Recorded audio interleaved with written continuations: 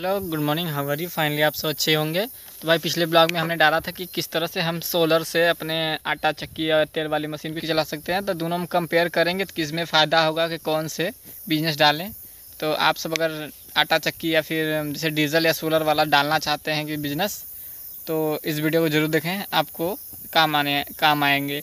क्योंकि इस वीडियो में हमने दिखाया है कि किस तरह से कमी सेटअप में, कमी एरिया या फिर कमी जगह में आप डीजल वाली आटा डीजल वाली जो मशीन है उससे उसको लगा के आटा चक्की गाड़ सकते हैं, तेल वाली मशीन गाड़ सकते हैं, या तो फिर सोलर वाला, दो में से कोई भी आप चूज़ कर सकते हैं, या तो दोनों बहुत चल सकते हैं। ठीक है? तो चलिए वीडियो में दिखाते हैं डीजल वाले इंजन से किस तरह से भाई ने दो दो आटा और तेल वाली दोनों सिस्टम सेट किया है अपनी जगह ठीक है? आइए।